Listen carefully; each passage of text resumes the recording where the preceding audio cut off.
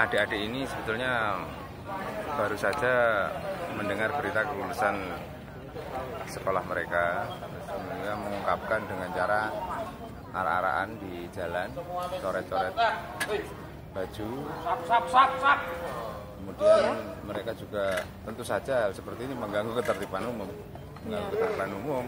Kadang ada yang beberapa yang merusak fasilitas-fasilitas yang ada kita amankan di sini untuk diberikan pembinaan. Karena memang kita sudah bekerja sama dengan Dignas bahwasanya Dignas sendiri sudah memberikan surat edaran dan itu langsung kita sounding kita juga memberikan himbauan ke sekolah-sekolah bahwa mereka pada dasarnya tidak boleh yang pertama itu coret-coretan baju kemudian arah-arahan apalagi tawuran.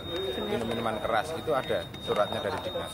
Kita juga memberitahukan kepada pihak sekolahan bahwa siswa-siswa ini melaksanakan kegiatan yang sudah dilarang oleh Dignas. Terserah nanti dari pihak sekolah memberikan sanksi apa